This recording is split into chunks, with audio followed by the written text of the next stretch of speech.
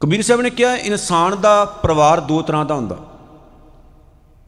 ਇੱਕ ਉਹ ਪਰਿਵਾਰ ਹੈ ਜਿਹੜਾ ਬਾਹਰ ਹੈ, ਜੋ ਸਾਨੂੰ ਦਿਸਦਾ ਹੈ।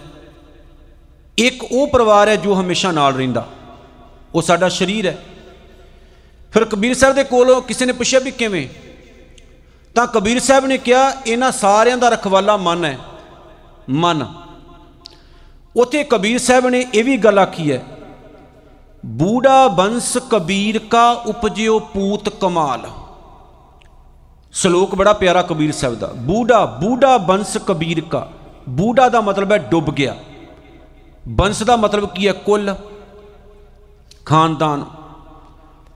ਡੁੱਬ ਗਿਆ ਖਾਨਦਾਨ ਕਬੀਰ ਦਾ, ਜੇ ਮੈਂ ਅਖਰੀ ਅਰਥ ਕਰਾਂ ਤਾਂ ਇਹਦਾ। ਬੂਢਾ ਬੰਸ ਕਬੀਰ ਕਾ ਉਪਜਿਓ ਪੂਤ ਕਮਾਲ। ਕਹਿੰਦੇ ਕਮਾਲ ਦਾ ਪੁੱਤ ਮੇਰੇ ਘਰ 'ਚ ਪੈਦਾ ਹੋ ਗਿਆ। ਪੁਰਾਣੀਆਂ ਜਨਮ ਸਾਖੀਆਂ ਦੇ ਵਿੱਚ ਇਹਦੀ ਬੜੀ ਗਲਤ ਧਾਰਨਾ ਕੀਤੀ ਗਈ ਸ਼ਲੋਕ ਦੀ, ਕਿਉਂਕਿ ਡੁੰਗਿਆਈ ਵਿੱਚ ਜਾਣ ਵਾਲੇ ਜਿਹੜੇ ਟੀਕਾਕਾਰ ਨੇ, ਜਿਵੇਂ ਪ੍ਰੋਫੈਸਰ ਸਹਿਬ ਸਿੰਘ ਹੋਣੀ ਜਾਂ ਗਿਆਨੀ ਹਰਬੰਸ ਸਿੰਘ ਜਾਂ ਹੋਰ ਜਿਹੜੇ ਟੀਕਾਕਾਰ ਹੋਏ ਨੇ ਸਾਡੀ ਕੌਮ ਦੇ ਵਿੱਚ, ਉਹਨਾਂ ਨੇ ਜਦੋਂ ਇਹਨਾਂ ਸ਼ਲੋਕਾਂ ਦੀ ਵਿਆਖਿਆ ਕੀਤੀ, ਬੜੀ ਜ਼ਬਰਦਸਤ ਕੀਤੀ। ਉਪਜਿਓ ਪੂਤ ਕਮਾਲ। ਕਮਾਲ ਨਕੰਮਾ, ਬੇਸਮਝ, ਜਿਹਨੂੰ ਕੋਈ ਕੰਮ ਨਾ ਹੋਵੇ ਉਹ। ਕਿਹੜਾ ਪੁੱਤ ਪੈਦਾ ਹੋਇਆ? ਨਕੰਮਾ। ਉਥੇ ਮਨ ਦੀ ਗੱਲ ਕੀਤੀ। ਮਨ ਨੂੰ ਕਬੀਰ ਸਾਹਿਬ ਨੇ ਪੁੱਤ ਆਖਿਆ, ਬੂਢਾ ਬੰਸ, ਕਬੀਰ ਕਾ ਬੰਸ, ਕੁੱਲ ਕੁੱਲ ਕੀਤੀ ਗੱਲ ਪੂਰੇ ਸਰੀਰ ਦੀ। ਕਹਿੰਦੇ, ਮੇਰਾ ਮਨ ਰੂਪ ਪੋਤੀ ਨਕੰਮਾ ਪੈਦਾ ਹੋਇਆ। ਜਿਹਦੀ ਵਜ੍ਹਾ ਕਰਕੇ ਮੇਰਾ ਸਾਰਾ ਖਾਨਦਾਨ ਖਤਮ ਹੋ ਗਿਆ। ਕਿਹੜਾ ਖਾਨਦਾਨ? ਅੱਖਾਂ, ਕੰਨ, ਨੱਕ, ਜ਼ੁਬਾਨ, ਸਰੀਰ ਦੇ ਜਿਹੜੇ ਗਿਆਨ ਅੰਦਰ ਨੌ ਦਰਵਾਜ਼ੇ ਪ੍ਰਗਟ ਕੀਏ, ਦਸਵਾਂ ਗੁਪਤ ਰਖਾਇਆ। ਪਿਛਲੀ ਵੀਕ ਵੀ ਆਪਾਂ ਗੱਲ ਕੀਤੀ ਸੀ। ਨੌ ਦਰਵਾਜ਼ੇ ਕਿਹੜੇ ਐ ਸਰੀਰ ਦੇ ਉਹ ਪਾਰਟ ਜੋ ਸਾਨੂੰ ਦਿਸਦੇ। ਜਿਨ੍ਹਾਂ ਦੇ ਰਾਹੀਂ ਆਪਾਂ ਜਿਉਨੇ ਆ ਜਿਨ੍ਹਾਂ ਰਾਹੀਂ ਆਪਾਂ ਗਿਆਨ ਇਕੱਠਾ ਕਰਦੇ ਆ ਨੌਲੇਜ ਇਕੱਠੀ ਕਰਦੇ ਆ ਕਹਿੰਦੇ ਇਹ ਪੁੱਤਰ ਜਿਹੜਾ ਮਨ ਰੂਪ ਜਿਹੜਾ ਪੁੱਤਰ ਹੈ, ਇੰਨਾ ਕਮਲਾ ਹੈ, ਇੰਨਾ ਬੇਸਮਝ ਹੈ, ਇੰਨਾ ਨਕਮਾ ਹੈ, ਇਹ ਆਪ ਤਾਂ ਵਿਗੜਿਆ ਸੀ, ਇਸ ਕਮਲੇ ਨੇ ਮੇਰਾ ਪੂਰੇ ਸਰੀਰ ਰੂਪ ਕੁੱਲ ਵੀ ਖਤਮ ਕਰਤੀ ਦੇਖੋ ਜੇ ਮਨ ਚੰਗਾ ਹੋਏਗਾ ਤੇ ਅੱਖਾਂ ਚੰਗਾ ਦੇਖਣਗੀਆਂ। ਇਹ ਤਾਂ ਆਪਾਂ ਜਾਣਦੇ ਹਾਂ ਜੇ ਮਨ ਵਿੰਡੋ, ਦੇਖੋ, ਜਦੋਂ ਮਾਈਕਰੋਸਾਫਟ ਨੇ ਵਿੰਡੋ, ਫਸਟ ਵਿੰਡੋ ਤਿਆਰ ਕੀਤੀ, ਉਹਦਾ ਨਾਮ ਵਿੰਡੋ ਕੋ ਰੱਖਿਆ। ਵਿੰਡੋ ਹੁਣ ਜੋ ਆਪਾਂ ਘਰ ਤਿਆਰ ਕਰਦੇ ਆਂ ਬਿਲਡਿੰਗ ਇੱਕ ਤਿਆਰ ਕਰਦੇ ਆਂ ਆਪਾਂ ਉਹਦੇ ਵਿੱਚ ਵਿੰਡੋ ਕਿਉਂ ਰੱਖਦੇ ਵਿੰਡੋ ਇਸ ਲਈ ਰੱਖੀਆਂ ਜਾਂਦੀਆਂ ਨੇ ਕਿਉਂਕਿ ਵੇਖਿਆ ਜਾਂਦਾ, ਉਹਨਾਂ ਦੇ ਅੰਦਰੋਂ ਬਾਹਰ ਤੱਕ ਵੇਖਿਆ ਜਾ ਸਕਦਾ। ਉਹਨਾਂ ਦੇ ਥਰੂ ਆਪਾਂ ਬਾਹਰ ਦੇਖਦੇ ਆਂ ਹੁਣ ਜੇ ਪੂਰੀ ਦੀਵਾਰ ਇਦਾਂ ਹੀ ਹੋਵੇ ਵਿੰਡੋ ਕੋਈ ਵੀ ਨਾ ਹੋਵੇ, ਤੇ ਆਪਾਂ ਬਾਹਰੋਂ ਵੇਖ ਥੋੜੀ ਕੋ ਸਕਦੇ ਆਂ ਨਾ ਬਾਹਰ ਦਾ ਚਾਨਣ ਅੰਦਰ ਆ ਸਕਦਾ, ਬਾਹਰੋਂ ਚਾਨਣ ਵੀ ਅੰਦਰ ਨਹੀਂ ਆਏਗਾ ਤੇ ਦੁਬਾਰਾ ਐ ਬੰਦ ਰਹਿਣਗੀਆਂ, ਹਨੇਰਾ ਹਨੇਰਾ ਹੋਏਗਾ, ਤੁਸੀਂ ਬਾਹਰ ਵੇਖ ਵੀ ਨਹੀਂ ਸਕਦੇ। ਕੁਝ ਵਿੰਡੋ ਇਦਾਂ ਦੀਆਂ ਹੁੰਦੀਆਂ ਨੇ, ਜਿਨ੍ਹਾਂ ਦੇ ਥਰੂ ਆਪਾਂ ਅੰਦਰੋਂ ਵੇਖ ਸਕਦੇ ਹਾਂ, ਬਾਹਰੋਂ ਸਾਨੂੰ ਕੋਈ ਦੂਜਾ ਨਹੀਂ ਵੇਖ ਸਕਦਾ। ਕੁਝ ਇਦਾਂ ਦੀਆਂ ਹੁੰਦੀਆਂ ਜਿਹੜੀਆਂ ਦੋਨੋਂ ਤਰਫ ਤੋਂ ਵੇਖੀਆਂ ਜਾਂਦੀਆਂ। ਵਿੰਡੋ ਨਾਮ ਕਿਉਂ ਰੱਖਿਆ ਗਿਆ ਜੋ ਸਹੀ ਤਰ੍ਹਾਂ ਆਪਾਂ ਸੋਚੀਏ ਪਤਾ ਲੱਗਦਾ, ਉਹਦੇ ਥਰੂ ਆਪਾਂ ਸਭ ਕੁਝ ਵੇਖ ਸਕਦੇ ਹਾਂ। ਇੱਕ ਐਸੀ ਵਿੰਡੋ ਸਾਨੂੰ ਦਿੱਤੀ, ਜਿਹਦੇ ਥਰੂ ਆਪਾਂ ਜਾਣ ਸਕਦੇ ਹਾਂ ਦੁਨੀਆ ਬਾਰੇ ਵਰਲਡ ਬਾਰੇ, ਸੰਸਾਰ ਬਾਰੇ। ਦੁਨੀਆ ਬਾਰੇ ਜਾਣ ਸਕਦੇ ਹਾਂ। ਔਰ ਹੈਰਾਨੀ ਹੁੰਦੀ ਹੈ, ਉੱਪਰ ਗੂਗਲ ਲਿਖਿਆ ਹੋਇਆ, ਇੱਕ ਛੋਟਾ ਜਿਹਾ ਥੱਲੇ ਸਾਨੂੰ ਉਹਨਾਂ ਨੇ ਸਪੇਸ ਦੇ ਦਿੱਤੀ ਸਰਚ ਬਾਕਸ ਦੇ ਦਿੱਤਾ। ਜੇ ਆਪਾਂ ਸਹੀ ਤਰੀਕੇ ਦੇ ਨਾਲ ਡੈਫੀਨੇਸ਼ਨ ਸਮਝਣੀ ਹੋਵੇ ਇਸ ਸ਼ਬਦ ਦੀ, ਤੇ ਉੱਪਰ ਗੂਗਲ ਹੈ, ਛੋਟਾ ਜਿਹਾ ਸਰਚ ਬਾਕਸ ਹੈ। ਹੁਣ ਛੋਟਾ ਜਿਹਾ ਸਰਚ ਸਰਚ ਬਾਕਸ ਹੈ, ਉਹਦੇ ਵਿੱਚ ਜੋ ਮਰਜ਼ੀ ਲਿਖ ਲਓ। ਮਾੜੀ ਤੋਂ ਮਾੜੀ ਚੀਜ਼ ਲਿਖ ਲਓ ਤਾਂ ਵੀ ਨਿਕਲ ਆਉਂਦੀ ਹੈ। ਚੰਗੀ ਲਿਖ ਲਓ ਤਾਂ ਵੀ ਨਿਕਲ ਆਉਂਦੀ ਹੈ। ਅਸਲ ਦੇ ਵਿੱਚ ਗੱਲ ਸਾਰੀ ਹੈ ਸਾਡੇ ਮਨ ਦੀ। ਜਿੱਦਾਂ ਉਹ ਵਿੰਡੋ ਹੈ ਨਾ, ਜਿਹਦੇ ਥਰੂ ਆਪਾਂ ਦੁਨੀਆ ਜਾਣ ਸਕਦੇ ਹਾਂ ਸੰਸਾਰ ਜਾਣ ਸਕਦੇ ਹਾਂ ਵਰਲਡ ਦੀ ਇਨਫੋਰਮੇਸ਼ਨ ਲੈ ਸਕਦੇ ਹਾਂ ਸਾਰਾ ਕੁਝ।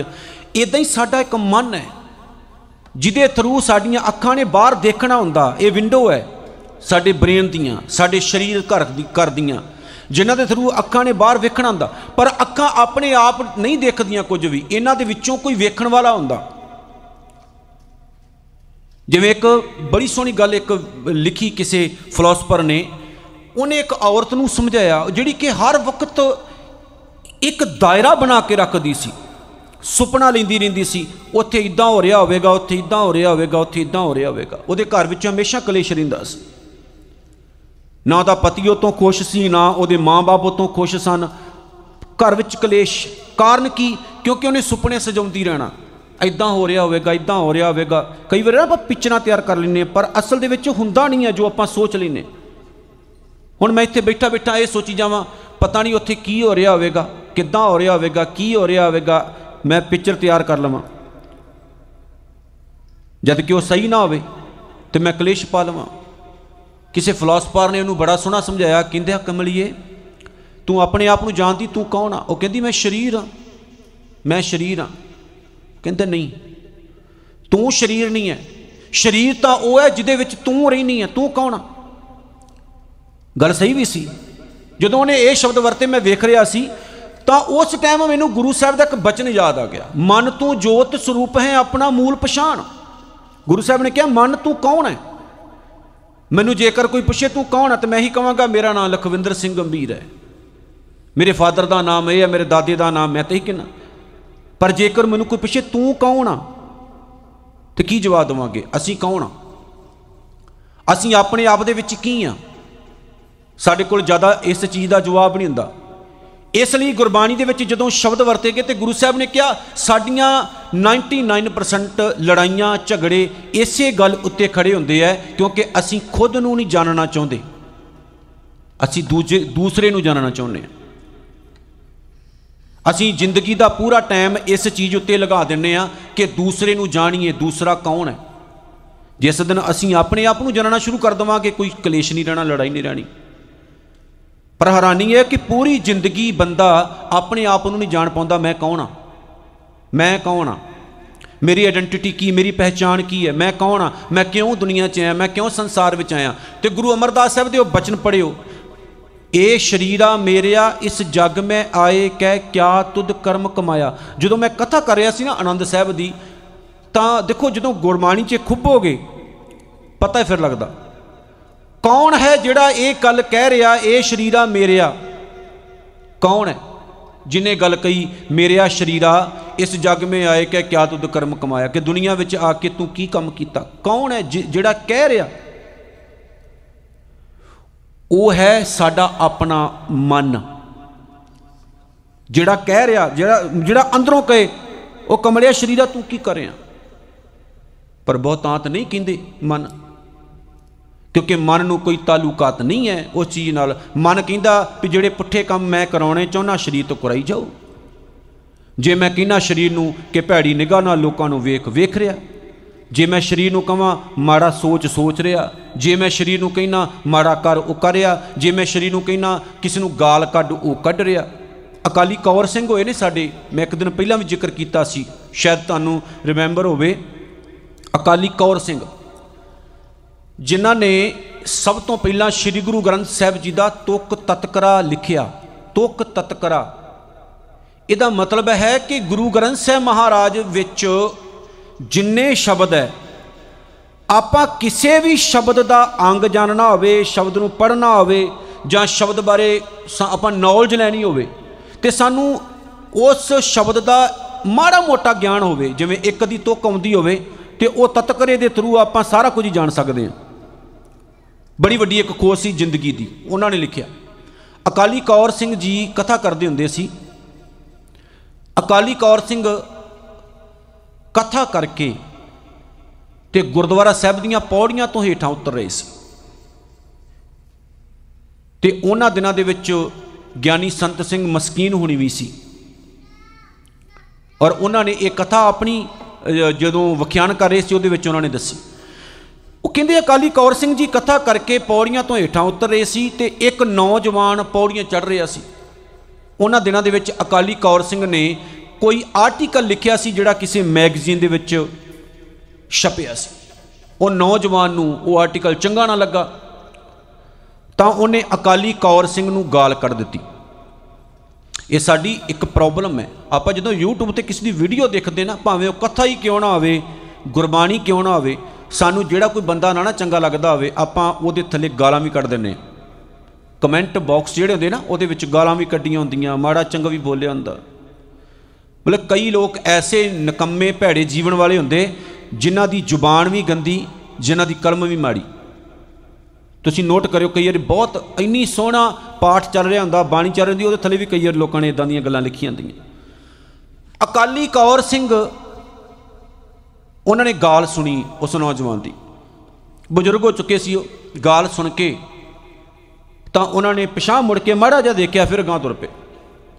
ਮਸਕੀਨ ਜੀ ਕਹਿੰਦੇ, ਮੈਂ ਸਭ ਕੁਝ ਦੇਖ ਰਿਹਾ ਸੀ ਆਪਣੀ ਅੱਖੀ। ਮੈਨੂੰ ਨਾ ਚੰਗਾ ਲੱਗਾ ਕਿ ਨੌਜਵਾਨ ਕੋਈ ਗਾਲ ਕੱਢੇ ਕਿਸੇ ਬਜ਼ੁਰਗ ਨੂੰ।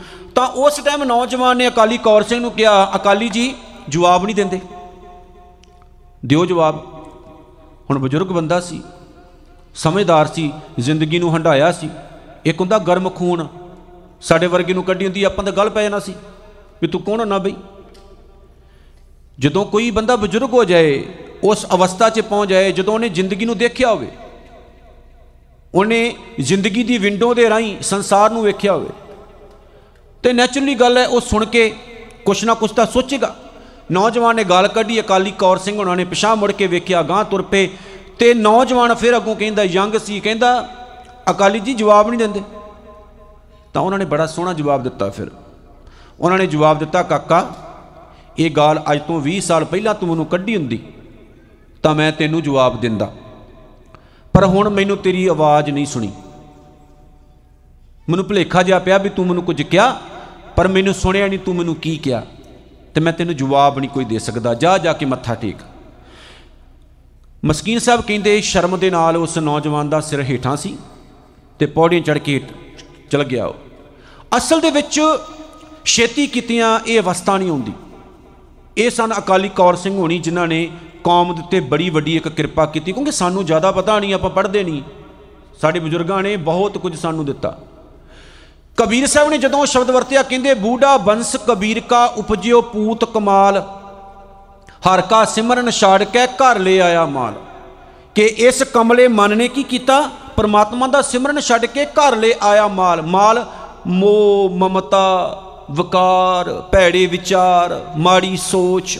ਇਹ ਸਭ ਕੁਝ ਸਰੀਰ ਦੇ ਅੰਦਰ ਇਕੱਠਾ ਕਰੀ ਜਾਂਦਾ ਕਰੀ ਜਾਂਦਾ ਕਰੀ ਜਾਂਦਾ, ਜਿਹੜਾ ਕਿ ਕਦੇ ਵੀ ਖਤਮ ਨਹੀਂ ਹੁੰਦਾ ਔਰ ਇਸ ਕਮਲੇ ਨੇ ਆਪਣੇ ਆਪ ਨੂੰ ਤਾਂ ਡੁੱਬਿਆ, ਮੇਰੀਆਂ ਅੱਖਾਂ ਖਰਾਬ ਕਰਤੀਆਂ, ਮੇਰੇ ਕੰਨ ਖਰਾਬ ਕਰਤੇ, ਮੇਰੀ ਸੁਣ ਸ਼ਕਤੀ ਖਰਾਬ ਕਰਤੀ, ਮੇਰਾ ਜੀਵਨ ਬਰਬਾਦ ਕਰ ਦਿੱਤਾ ਇਸ ਨੇ ਮੇਰਾ, ਮੇਰੀ ਕੁੱਲ ਡੋਬ ਦਿੱਤੀ। ਇੱਕ ਤਾਂ ਕੁੱਲ ਉਹ ਜਿਹੜੀ ਬਾਹਰ ਹੈ, ਇੱਕ ਕੁੱਲ ਉਹ ਜਿਹੜੀ ਸਾਡੀ ਆਪਣੀ ਪਰਸਨਲ ਕਹਿੰਦੇ ਮੇਰਾ ਜੀਵਨ ਇਸ ਨੇ ਖਰਾਬ ਕਰ ਦਿੱਤਾ। ਸੋ ਗੁਰਬਾਣੀ ਨੂੰ ਪੜਨ ਦਾ, ਵਾਚਣ ਦਾ ਮੇਨ ਮਕਸਦ ਹੀ ਇਹ ਹੁੰਦਾ ਹੈ ਕਿ ਸਾਨੂੰ ਸੱਚ ਦੀ ਸੋਝੀ ਆਵੇ, ਆਪਾਂ ਸੱਚ ਦੇ ਪਾਸੇ ਜੁੜੀਏ। ਤੇ ਜਿਹੜਾ ਸਾਡਾ ਜੀਵਨ ਹੈ, ਉਹ ਉੱਚਾ ਸੁੱਚਾ ਹੋਵੇ। ਤਾਂ ਹੀ ਗੁਰਬਾਣੀ ਨਿਤ ਪੜ੍ਹੀ ਜਾਂਦੀ ਹੈ, ਗੁਰਬਾਣੀ ਗਾਈ ਜਾਂਦੀ ਹੈ ਔਰ ਗੁਰਬਾਣੀ ਪੜਨ ਦਾ, ਗੁਰਬਾਣੀ ਸੁਣਨ ਦਾ, ਗੁਰਬਾਣੀ ਵਿਚਾਰਨ ਦਾ ਮੇਨ ਮਕਸਦ ਇਹੀ ਹੈ।